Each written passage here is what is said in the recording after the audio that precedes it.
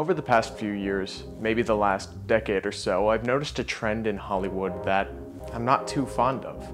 This trend is almost entirely at the fault of one entity Disney. While pushing the limits of visual effects to new levels is inherently good, industry strides and technological advancements have been hand in hand since the dawn of the film industry. That being said, I think the visual de-aging of actors, and in some cases, even recreating dead actors, has gone too far. Disney's first attempt with this digital de-aging was in 2010 with the sequel to the cult hit Tron, Tron Legacy. The original movie stars Jeff Bridges, but in Legacy, they wanted a more traditional younger actor to play the main character, but had to create a bunch of flashback sequences to make Jeff Bridges the father figure of that new main character.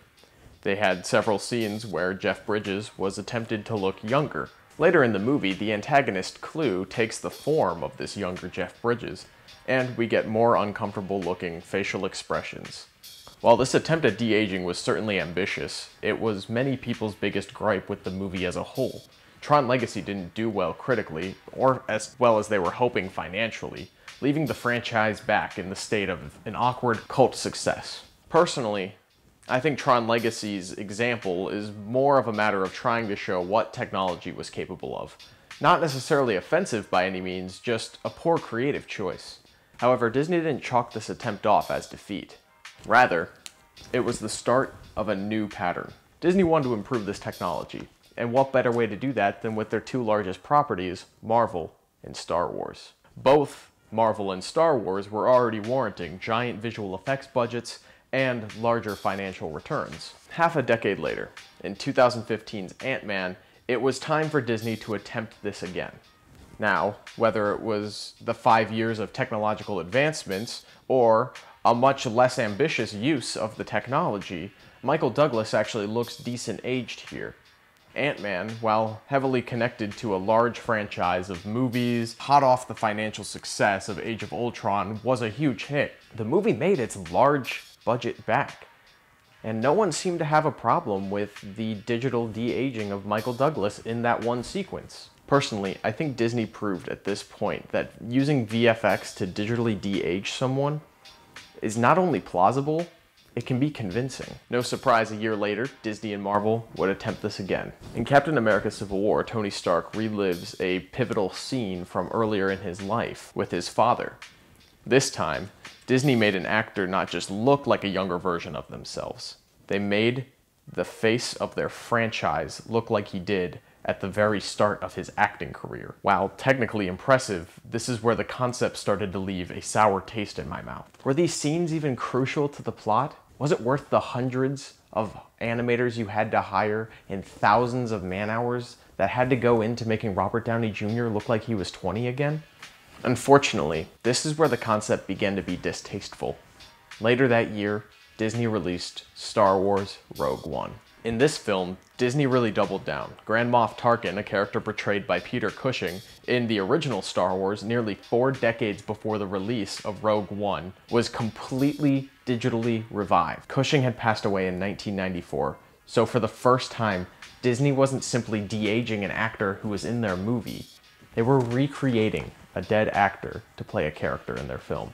On top of that, they digitally recreated Carrie Fisher, who was still alive, mind you, to look more like she was 40 years ago. Disney thought they could play God, and just two weeks after the film was released, there was a horrible, unfortunate passing. And we begin with the passing of a Hollywood legend and an American original. Carrie Fisher, whose role as Princess Leia in Star Wars vaulted her to pop culture immortality, died today in Los Angeles with her family by her side. She was 60 years old. After the unfortunate passing of Carrie Fisher, you would think that digitally de-aging would be frowned upon now, right? Well, no. It was time to digitally de-age Kurt Russell again. Disney went full circle with Guardians of the Galaxy 2 and made 80s Kurt Russell again. With Carrie Fisher dead and Star Wars The Last Jedi soon releasing, many wondered if it would be the end of the character. Perhaps she would die off screen? Well, fortunately, Fisher was able to record most of her scenes, and the others were used by superimposing outtakes from The Force Awakens to finish.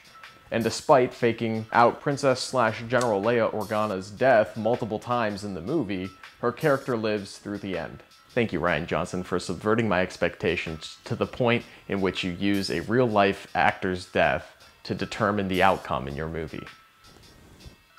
Disney came to the point that they realized they were more powerful than human mortality. After Fisher's death, they digitally de-aged Michael Douglas again, Michelle Pfeiffer, Nick Fury, Phil Coulson, and the entire original Avengers cast. De-aging in the Marvel Cinematic Universe became more popular than writing good villains.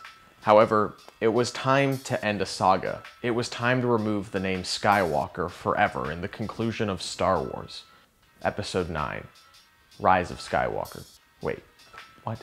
Anyway, despite Carrie Fisher now being dead for over three years, Disney decided to play God with her character once again. With the blessing of Fisher's family, literally, her daughter plays her body double. Know that we were doing this with sort of her at our side.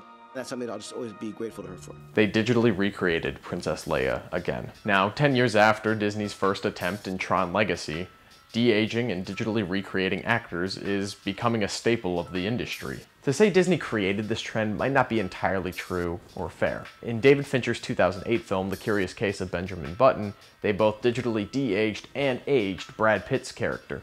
The X-Men and the Hobbit films also de-aged characters before Disney put it in their major franchises. But I do believe Disney is to blame for the trend of resurrecting the dead as uncanny 3D renderings. I believe without Disney recreating Peter Cushing and Carrie Fisher, we wouldn't have James Dean co-starring in Finding Jack 65 years after his death.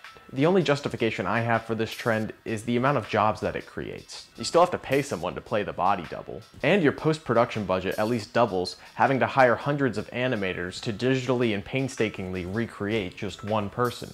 You might think I'm a hater of this trend, or maybe even just Disney in general. But I do think the digital recreation and de-aging has been done once, tastefully, with Blade Runner 2049. Jared Leto's character shows Harrison Ford's Deckard the new recreation of Rachael, his Luv interest. She appears nearly identical in her appearance in the original Blade Runner 35 years earlier.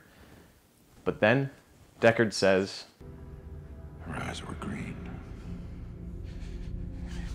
and love promptly executes her. This works well because despite how close Disney or any other money-hungry studio gets to digitally recreating the image of an individual, nothing can beat the original hardworking actors and the amazing performances they have given us.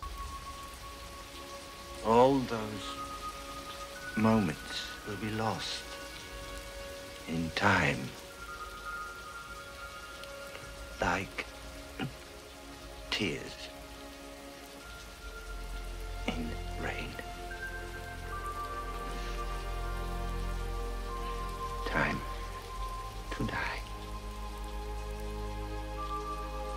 Do you agree with my stance on digitally de-aging and recreating actors? Let me know in the comments below. Also, let me know if you like this style of video essay and if I should do more. As always, thanks for watching.